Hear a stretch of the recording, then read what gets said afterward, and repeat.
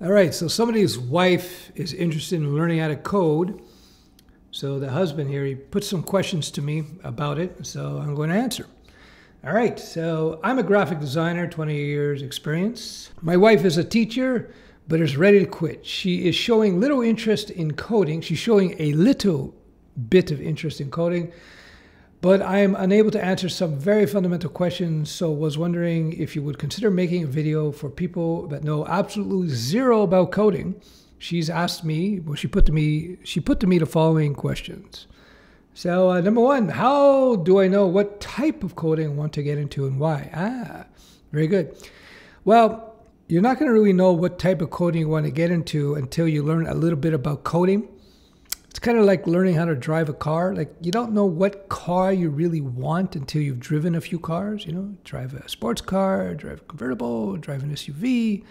Then you're gonna have a much better idea of the type of coding you want to do. So what I do in my mentoring program, shameless self promotion, um, we have people run through what I characterize as the key fundamentals. So I teach you HTML5, CSS3, JavaScript, PHP, Python, SQL, and databases, and a bunch more.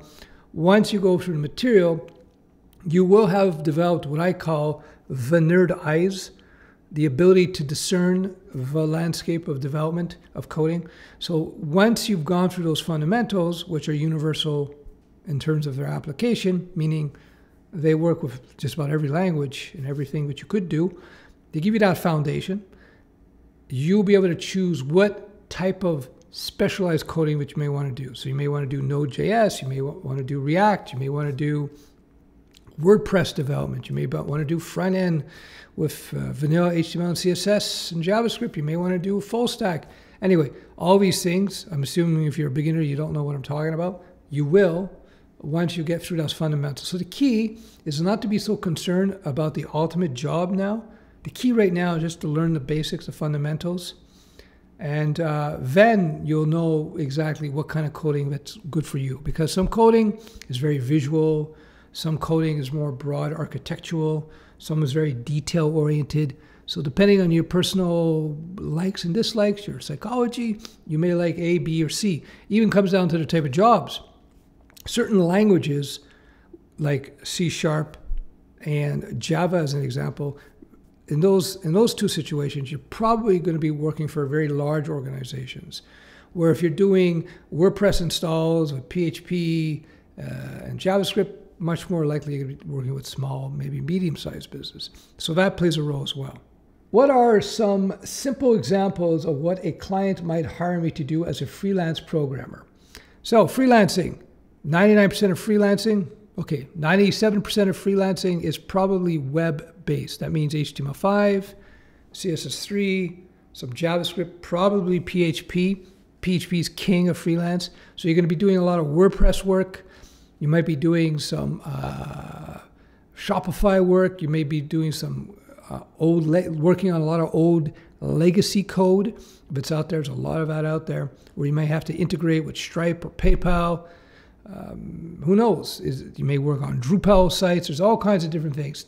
The best way you could characterize freelance programming is that A, you're going to be working for small businesses. B, you're going to be working on projects that might last uh, two weeks, two months.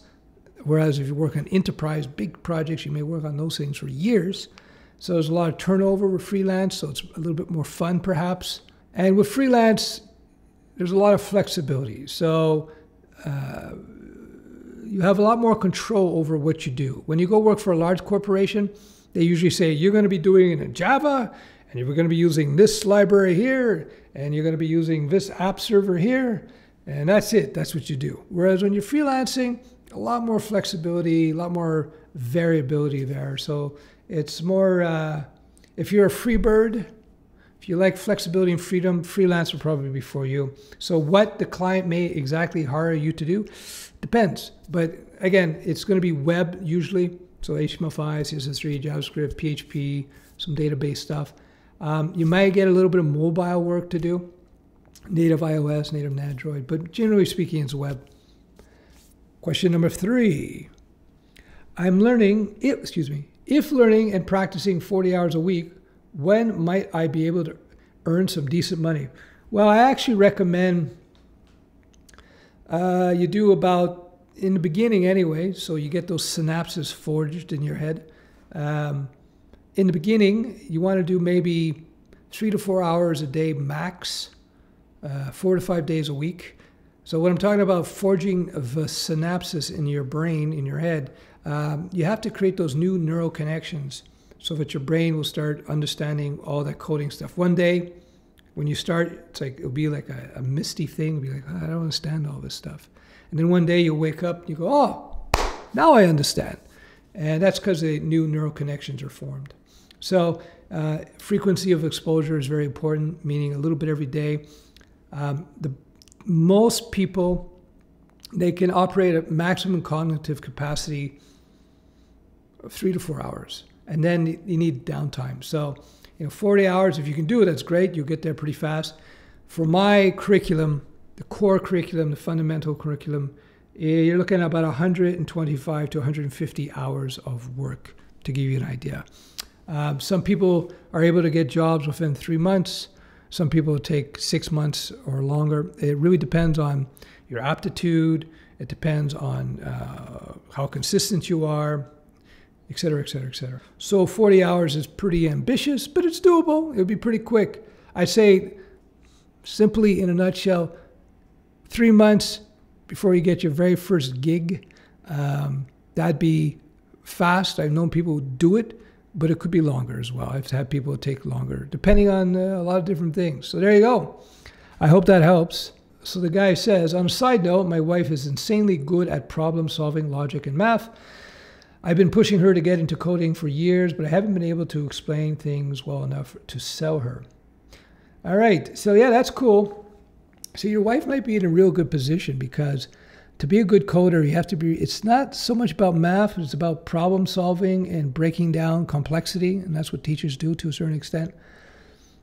And it's also about good communication skills. The number two thing that recruiters look for in uh, candidates for coding jobs is whether or not they have good communication skills. Because, you know, you're, you're working with other people as a developer, whether you're freelancing or working at a job.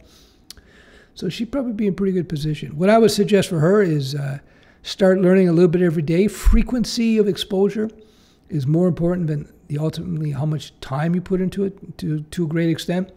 So if your brain sees coding every day, four or five days a week or more, your brain will start to get the message, hey, I better learn this stuff. But if it only sees it once or twice a week, your brain's like, oh, this again? Eh, we don't see it often, it can't be that important. So you want to expose yourself consistently to coding. This will speed up the process. So it starts off a little slow, and then speeds up quite a bit. Ultimately, with my mentoring program, I want to get you to the point as quickly as possible so you can get your foot in the door, get that entry level job, because in that first entry level job, where you will be paid to learn is where you will learn a lot.